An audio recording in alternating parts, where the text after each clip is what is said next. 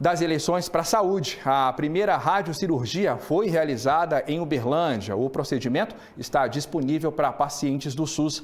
Luciane Oliveira chega com as informações agora. Luciane, um procedimento pioneiro por aqui na região. Boa noite para você.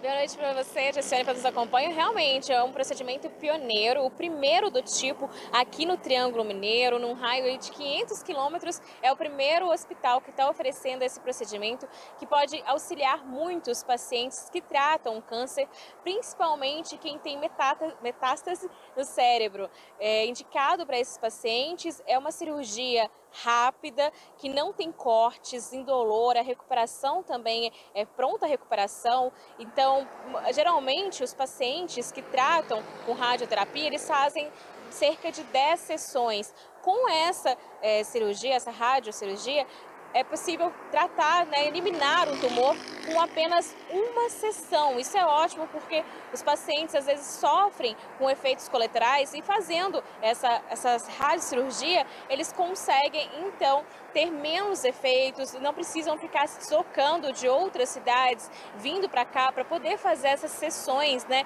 Então é uma inovação que vai ser muito bom para todos os pacientes que tratam câncer aqui na região, mas para poder passar por esse procedimento é preciso antes ter uma indicação médica.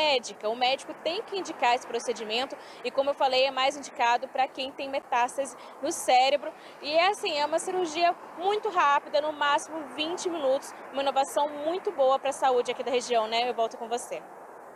Tá certo, Luciana. A Luciana, inclusive, conversou com um dos médicos que é responsável, então.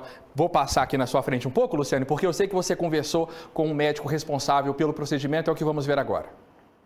Triângulo Mineiro é, e no raio de 500 quilômetros em Minas Gerais é o único hospital que, que dispõe dessa técnica 100% gratuita que nós fazemos totalmente pelo SUS é, e para os pacientes outros pacientes só vão encontrar essa técnica é, em Belo Horizonte ou em regiões mais distantes é, e da rede EBSER também é importante a gente dizer que é o único hospital que realiza essa técnica de radiocirurgia. Eu costumo dizer para os pacientes que a, o tratamento é semelhante a um exame de raio-x.